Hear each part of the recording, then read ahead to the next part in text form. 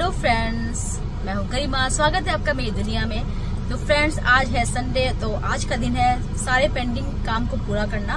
तो हमारे पास एक मिक्सर ग्राइंडर थी तो पूरा मतलब ग्राइंडर दी थी एक पूरा फ़ूड प्रोसेसर था जो कि थोड़ा बहुत खराब हो गया है। और, और सारे पार्ट्स मैं इसके यूज़ भी नहीं कर पाती हूँ काफ़ी बड़ा काफ़ी सारे पार्ट्स हैं उसके तो वो ऐसे ही पड़ा रहता है सिर्फ़ ग्राइंडिंग मशीन ही यूज़ करती हूँ। मैं शेक बनाने वाला जो पॉट होता है सिर्फ़ वो यूज़ करती हूँ। तो मैंने सोचा कि मैं उसे ना चेंज करके एक नया सिंपल सी मशीन मिक्सी लेके आती हूँ, जिसमें सिर्फ़ चटनी और मसाले वगैरह पिसते हैं। सिर्फ़ और शेक वगैरह बनाना होगा तो उसका एक जार होता है। सिर्फ़ वही मुझे चाहिए। और ये तामझाम जो होते हैं ना, वो सब मुझे नहीं चाहिए, वो उसका मेरा मेरा कुछ यूज़ नहीं होता है उसका। तो आज उसी के लिए मैं निकली हुई हूँ, देखने के लिए अच्छी सी मिक्सी सिंपल सी।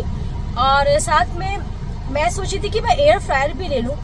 क्योंकि आज मैंने बहुत सारी डिशेस देखी हैं जो कि एयर फ्रायर में बनती है और काफ़ी अच्छी बनती हैं। अगर आप डाइट कर रहे हो तो काफ़ी काम आता है एयर फ्रायर तो मुझे वो भी देखना है। तो कुछ मैंने यूट्यूब में वीडियोस देखे थे जो काफ़ी अच्छे एयर फ्रायर के थे। तो दिमाग में है कि किस कंपनी का लेना है, पर अभी भी मेरे पास मैं सारे ऑप्शन देखूँगी जाकर के, जो मुझे अच्छा लगेगा। पसंद आएगा तो लूँगी। तो आज ये सब काम के लिए हम निकले हुए हैं। और मेरे हस्बैंड भी आए थे दो दिन के लिए घर तो मैंने आज उनको पकड़ा। मैंने कहा, चलो चलते हैं और थोड़ा छोटा मोटा काम है जो बहुत ही ज़्यादा करना ज़रूरी है। तो फिर हम निकल गए हैं। तो चलते हैं, देखते हैं कि अभी हम जा रहे हैं टोमा वहाँ पर देखते हैं कि क्या क्या मिलता है हमें, वहाँ पर हम देखेंगे। सब कुछ, उसके बाद आपको बताते हैं कि हमने क्या लिया और लिया है कि नहीं लिया। अभी तो ये भी डाउट है मुझे। लेकिन चलते हैं, देखते हैं। तो फ्रेंड्स मैं जा रही थी ग्राइंडर लेने के लिए, पर मैं पहुँच के बर्तन की शॉप पे मैंने ये वाला पैन लिया। मुझे बहुत ही अच्छी डिज़ाइन लगी इसकी। और मैंने बहुत सारे पैन देखे थे, पर मुझे डिज़ाइन में बहुत ही यूनिक लगा वाला। तो मैंने वही वाला ले लिया। और उसके बाद स्टील की छन्नियाँ ली और नमिश के लिए मैंने पानी की बॉटल वगैरह ली। तो वो हर बार एक नई बॉटल उसकी लेनी पड़ती है, तोड़ देता है वो। और तो इसलिए जो है, वो वो सब लिया। तो काफ़ी कुछ सामान हो गया था। उसके बाद हम फिर निकले अपनी नेक्स्ट सामान खरीदने की जो कि था हमारा टारगेट आज का। फ्रेंड्स ने बहुत से बर्तन ले लिए, कई थी मैं मशीन के लिए, पर रस्ते में जो है बर्तन की शॉप दिखाई पड़ी तो मैंने सोचा कि चलो ले लेते हैं। और काफ़ी टाइम से पेंडिंग था तो आपको मैं घर जाके दिखाती हूँ। और अभी हम जा रहे हैं एक शिप्रा मॉल वहाँ पर एक्चुअली हम, मैंने विक्की के लिए, मैं अपने हस्बैंड के लिए घड़ी ली थी तो घड़ी में थोड़ी सी स्क्रैच पड़ गए हैं तो वो दिखाना है। तो उसके बाद, वो दिखाने के बाद हम जाएँगे जो है मिक्सी मतलब ग्राइंडर खरीदने के लिए बन जाएगा। इनका शेक का जार अलग आता था, पर आना बंद हो गया। ऐसा आता था। ठीक है ना? तो ये एक, दो, तीन जार वाली प्लास्टिक जार नहीं मिलेगा इसमें। अब आना बंद हो गया। ज़्यादा नौ सौ वाट की वाली। ये ये कितने की वाट है?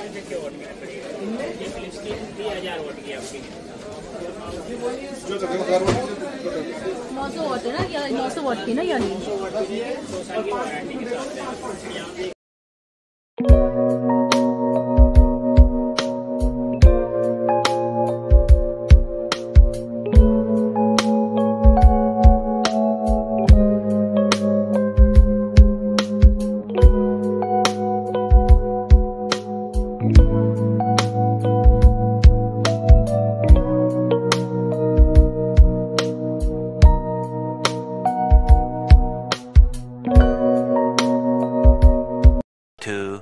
Thousand years later. तो फ्रेंड्स एक्चुअली हमारा प्लान था आज बाहर खाना, खाने का डिनर करने का, लेकिन आज संडे का दिन है और साइड टेबल बहुत ज़्यादा फुल जा रही थी रिज़र्व जा रही थी, कोई भी सीट हमें नहीं मिल रही थी और मिल भी रही थी तो दो घंटे के बाद का टाइम दिखा रहा था। तो मैंने सोचा कि हम घर पे ही कुछ बनाते हैं बढ़िया सा। तो आज हम बनाए जा रहे हैं मटन। जल्दबाजी वाला मटन है, मैं आपको दिखाऊँगी और काफ़ी जल्दी बन जाता है और काफ़ी काफ़ी अच्छा बनता है। तो स्टार्ट करते हैं। आपको दिखाती हूँ कि मैं मटन कैसे बनाती हूँ, जब मुझे जल्दी बनाना होता है। तो स्टार्ट करते हैं अपनी रेसिपी और ये डेढ़ किलो मटन है और ये करीब आठ से दस प्याज है जो मैंने काट लिया था। बहुत ही बारीक नहीं काटा था। और ये साबुत लहसुन है जो मैं मटन में डालती हूँ। मुझे बहुत अच्छा लगता है इसका टेस्ट साबुत लहसुन का, इसको भी मैं धुल लिया अच्छे से। और ये अदरक लहसुन का पेस्ट है और तेज पत्ता है, खड़े गरम मसाले में दालचीनी है और स्टार है। इसका टेस्ट भी काफ़ी अच्छा आता है। पर मैं इसे तेल में डालने के बाद थोड़ा सा फ्राई करने के बाद इसको निकाल लेती हूँ क्योंकि जैसे में इसका टेस्ट अच्छा ही लगता है। और ये सब मतलब दालचीनी है और इलायची है। और इसके बाद फिर मैंने पैन में तेल डाल दिया। थोड़ा तेल ज़्यादा पड़ता है और जैसे तेल गर्म हुआ तो मैंने तेज पत्ता डाल दिया, सारे खड़े मसाले डाल दिए इसके अंदर, जो भी मैं निकाल के बाहर रखे थे। और एक बार इसको अच्छे से चला दिया है। उसके बाद अब मैं, डालने के बाद मैंने इसको फिर प्याज डाल दिया है और उसको बस अच्छे से चला लूँगी। थोड़ा मटन में क्या होता है टाइम टेकिंग है और मैं नौ बजे बनाना शुरू किया था तो काफ़ी लेट हुआ था खाने में सबको तो मैं जल, बहुत जल्दी जल्दी में थी तो मैंने प्याज को ही अच्छे से अब चला रही हूँ और जैसे प्याज भुन जाएगा, मैं अपना स्टार जो है जो मैंने डाला था वो मैं निकाल लूँगी, जैसे मैंने आपको बताया था। इसका फ्लेवर ना रस तेल में आ जाता है तो आप निकाल लेंगे तो कोई दिक्कत नहीं है। और इसके बाद फिर मैंने आप मटन डाल दिया है सारा। और मटन को हम अच्छे से भून लेंगे, और क्योंकि जितना अच्छा मटन भुनेंगे ना, उतना ही अच्छा टेस्ट आएगा खाने में। तो इसको अच्छे से चला देंगे, इसको अच्छे से भून लेंगे, और तब तक भुनेंगे जब तक इसका हल्का सा रंग ना चेंज हो जाता है।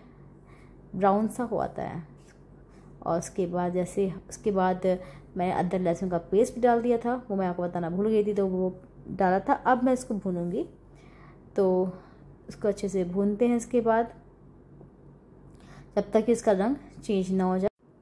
इसके बाद सारे मसाले डाल देने हैं। धनिया पाउडर हल्दी, नमक, गरम मसाला, लाल मिर्च, ये सारे पाउडर मैं डाल दूँगी अपने मसाले के। और उसके बाद फिर मैं इसको एक बार और अच्छे से भूनूँगी। तो भुनने का काम ही होता है मेन मटन में और कुछ नहीं होता है। तो और अब मैंने इसमें मीट मसाला डाला था। और ये मीट मसाला ना, जहाँ से मटन लाते हैं, वहाँ का स्पेशल मसाला होता है। तो हम लोग मीट मसाला वहीं से ख़रीद देते हैं। तो ये काफ़ी अच्छा टेस्ट होता है इसका। उसके बाद मैं इसको अच्छी तरह से भून लिया था। अब देखने मटन ने तेल छोड़ दिया है। तो बस अब अच्छी तरह से भुन गया है। फिर इसमें मैं एक, थोड़ी सी एक सीटी लगा दूँगी, क्योंकि उससे क्या होता है ना, हल्का सा जितना पानी होता है तो जो बचा होता है मटन में, वो भी छोड़ देता है और काफ़ी अच्छा टेस्ट आता है। तो जैसे ही एक सीटी लगी, मैंने इसे खोला देखिए, काफ़ी सारा पानी छोड़ दिया था। सीटी लगाने से क्या है, एक तो मटन अच्छे से पानी छोड़ देता है, और उसके बाद क्या होता है, थोड़ा सा गल भी जाता है तो जल्दी पक, पकता है। टाइम टेक टाइम जो है, बहुत कम लगता है। तो इसलिए मैंने सीटी लगा दी थी। तो अब इसको फिर से मैंने भून लिया है। एक ही सीटी लगाई थी, ज़्यादा नहीं लगानी है। और जैसे ही भुना जो मटन, उसके बाद मैंने इसमें दही ऐड किया है। ऑप्शनल है, आप टमाटर भी ऐड कर सकते हैं। मुझे मटन में मतलब कोई भी नॉनवेज में दही ज़्यादा पसंद है टमाटर से तो मैं दही ऐड करती हूँ। और दही ऐड करने के बाद इसे और भी अच्छी तरह से हम भूनेंगे। और दही के साथ मैं ऐड कर रही हूँ हरी धनिया। ये मैंने बहुत मोटी मोटी काटी है और इसमें ना डंठल भी हम डालते हैं धनिया की, क्योंकि काफ़ी अच्छा टेस्ट आता है मटन में। अगर आप जो है धनिया की डंठल को डाल, डालेंगे तो फाइनली चॉप्ड नहीं है। तो इसको डालने के बाद फिर हमने फिर से इसको अच्छी तरह से भून लिया है।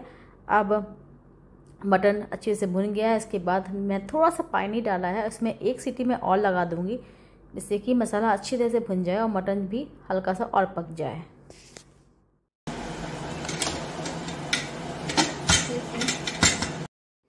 एक सीटी और लग गई है तो टोटल हमने मटन में दो सीटी लगाई है अब तक।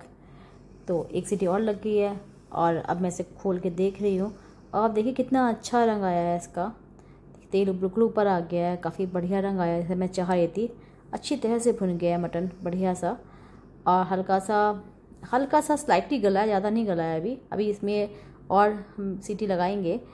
तो अभी तो फ़िलहाल मैं इसको थोड़ा सा और चलाऊँगी। और इसमें थोड़ा सा टेस्ट करके देखूँगी, कोई मसाले का मैं थोड़ा डाल दूँगी इसमें। और उसके बाद मैंने इसमें पानी डाल दिया पानी में ज़्यादा नहीं डाला है और पानी में गर्मा के डाला है। और उसके बाद फिर मैंने एक सीटी और लगाई थी और फाइनली हमने मटन में तीन सीटी लगाई हैं। और बढ़िया सा हमारा मटन बन के तैयार हो गया है और हरी धनिया से मैंने गार्निश कर दिया है। और काफ़ी अच्छा बन गया था काफ़ी बढ़िया लगा सबको। आज मेरा करने आए बाहर तो मिस्ट्री ऑफ़ फ़ूड में काफ़ी लेट हो गया है। देखते हैं सीट यहाँ पर मिलती कि नहीं मिलती है। पहले हम इम्परफेक्टो गए थे, वहाँ पर ज़्यादा अच्छा नहीं काफ़ी लाउड म्यूज़िक थी। तो इसलिए अब हम दूसरी जगह जा रहे हैं। चल के देखते हैं।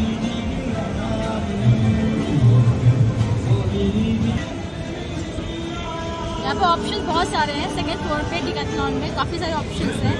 ये हैबिटेट सेंटर है इंद्रपुरम का। तो काफ़ी सारे नए ऑप्शन भी खुल गए यहाँ पर। तो जाके देखते हैं एक्सप्लोर करते हैं। तो ये रेस्टोरेंट में हम जा रहे थे, उसका नाम था अलाबाई एक्चुअली मैं फ़र्स्ट टाइम रेस्टोरेंट में जा रही थी। काफ़ी बढ़िया म्यूज़िक बज रहा था। और जोमेटो और स्विगी पे डाइन आउट पे ट्वेंटी फाइव परसेंट ऑफ़ भी था। तो हमने वहाँ से टेबल बुक कर ली थी। तो ये हैबिटेट सेंटर जो है इंदिरापुरम का, वहाँ पर सेकेंड फ्लोर में काफ़ी सारे आउटलेट खुल गए हैं बढ़िया बड़े रेस्टोरेंट्स के। तो और इसमें अंदर काफ़ी अच्छा एम्बियंस था, सूफी म्यूज़िक बज रहा था, जो कि मैं आपको सुना नहीं सकती कॉपी की वजह से। और और खाना भी काफ़ी ज़्यादा अच्छा था और सबसे बेस्ट बात थी इनका जो कॉकटेल बहुत, और मॉकटेल दोनों ही बहुत अच्छे थे और स्नैक्स आइटम भी अच्छे थे। तो काफ़ी अच्छा रेस्टोरेंट था। और आप अगर इंदिरापुरम में रहते हैं, आप कहीं और हैप्पी खा, अच्छे खाने के शौकीन हैं तो आप यहाँ पर जा सकते हैं।